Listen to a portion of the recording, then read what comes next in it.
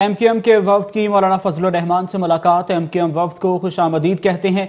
मौलाना फजल रहमान ने कहा, इस वक्त मुल्क की सियासत में हलचल है। तमाम सियासी जमातें एक दूसरे से मुशावरत कर रही हैं। हर जमात का अपना नुकता नज़र और सोच होती है। एम क्यू एम क्यादत ने मौजूदा हालात में मुशावरत की। हमारी जमात के कारकुन पुरान हैं। Maulana Fazl Rehman.